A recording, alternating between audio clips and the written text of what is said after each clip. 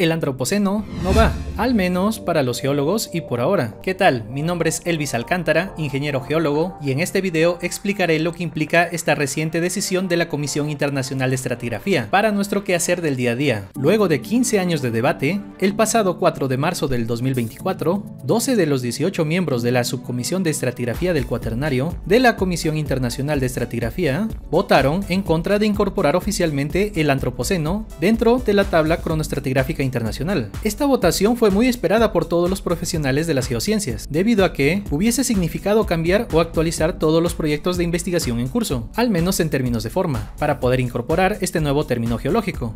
Pero vamos por partes. Primero, ¿qué es la tabla cronoestratigráfica internacional?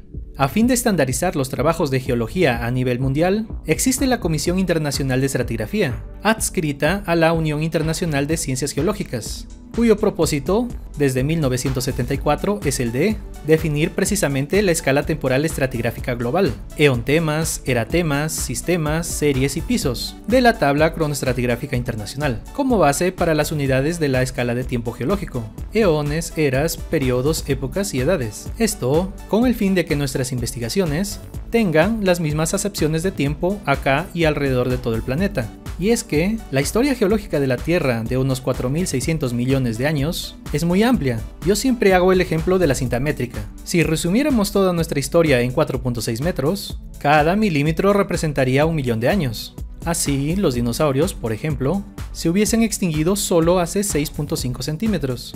Los primeros Homo sapiens hubieran surgido solo hace una quinta parte de un milímetro, y las primeras sociedades hace una centésima parte de un milímetro. Cada uno de estos espacios de tiempo tienen un color distintivo y estandarizado. Rápidamente podemos ver un mapa geológico de cualquier país y ver si un área está pintada de color verde, ya se nos vendría a la mente su origen en el Cretácico, celeste en el Jurásico, gris en el Cuaternario, etc. Por eso, para poder dividir toda la historia de la Tierra en épocas con características similares, los tiempos geológicos se definen por características únicas, por ejemplo, cuando la Tierra permanecía como una bola incandescente de lava, el ádico, o por el contrario, cuando se congeló completamente, el criogénico, o incluso las épocas de los grandes bosques alrededor del mundo, el carbonífero. Otro criterio para la definición de estos rangos de tiempos geológicos es separarlos por eventos de extinción, como las cinco grandes extinciones masivas. Ordovícico-silúrico, por una enorme subida y bajada del nivel de los océanos, catalizado por una posible supernova. Devónico-carbonífero, por la posible influencia de una pluma mantélica, y otros factores globales. Pérmico-triásico, la más importante de la historia, por un largo periodo de vulcanismo extremo. Triásico-jurásico, por las erupciones masivas tras la fragmentación de Pangea. Finalmente, la del Cretácico Paleógeno, por el impacto de un gran meteorito y erupciones masivas. Ahora bien, desde hace unas décadas, ha surgido en la cultura popular y en la literatura el término antropoceno, para poder definir a la época de tiempo donde el impacto del hombre sobre la naturaleza ha sido tan grande que su huella podría ser irreversible. Sin embargo, para ser aceptado dentro de nuestra tabla cronoestratigráfica mundial, se requieren dos cosas básicas. Primero, definir que los cambios sean tan grandes como para poder decir que el periodo anterior de tiempo ha finalizado e inicia uno nuevo. Y segundo, buscar la sección de estratotipo y punto de límite global, de sus siglas en inglés GSSP, donde poder datar la edad absoluta del nuevo límite, dejando el famoso clavo dorado en el lugar del muestreo, y una marca distintiva en la tabla cronoestratigráfica. Para el primer punto, la subcomisión de estratigrafía del cuaternario concluye que los cambios en el sistema Tierra no han sido significativos como para decir que ha concluido el Holoceno, el cual inició hace 11.700 años, con el fin de la última glaciación.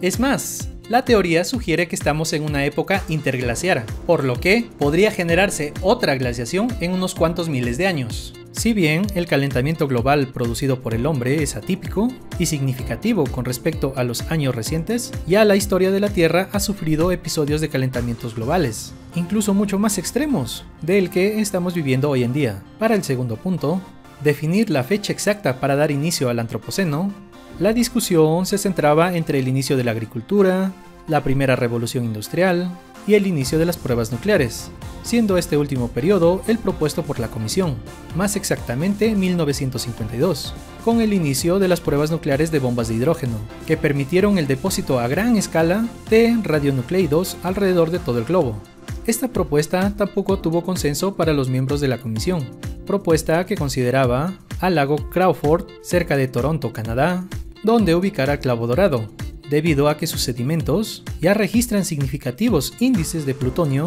provenientes de las pruebas de bombas nucleares de hidrógeno.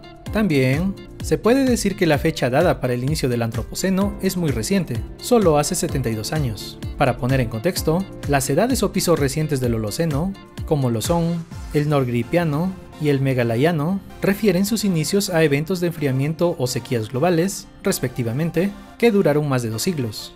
Ahora bien, ¿Qué hubiera significado la aceptación del Antropoceno dentro de la tabla cronoestratigráfica internacional? Pues hubiésemos necesitado recategorizar nuestros proyectos, meramente en términos de forma, no de fondo. Esto que quede bien claro para empezar, al menos en Perú.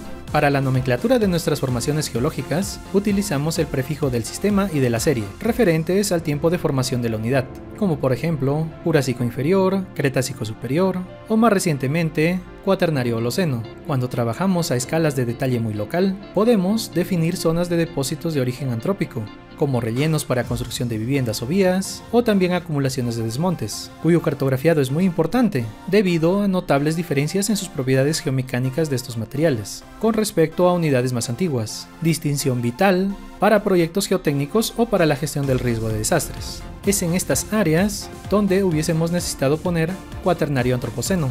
Sin embargo, seguiremos llamando a estas unidades como cuaternario holoceno-depósito antropogénico o simplemente relleno.